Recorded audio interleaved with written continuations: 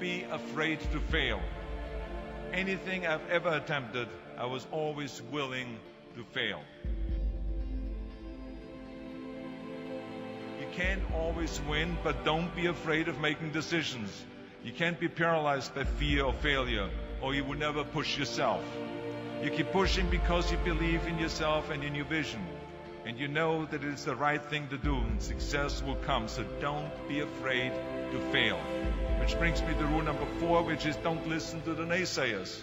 I mean, how many times have you heard that you can't do this and you can't do that and it has never been done before?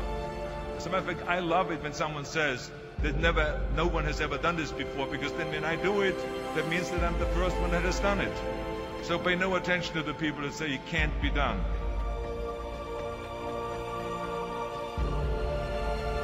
I always listen to myself and said, yes, you can. And that brings me to rule number five, which is the most important rule of all. Of all. Work your butt off. Now, if I always believed leaving no stone unturned. Muhammad Ali, one of my great heroes, had a great line in the 70s when he was asked, how many sit-ups do you do? He said, I don't count my sit-ups. I only start counting when it starts hurting. When I feel pain, that's when I start counting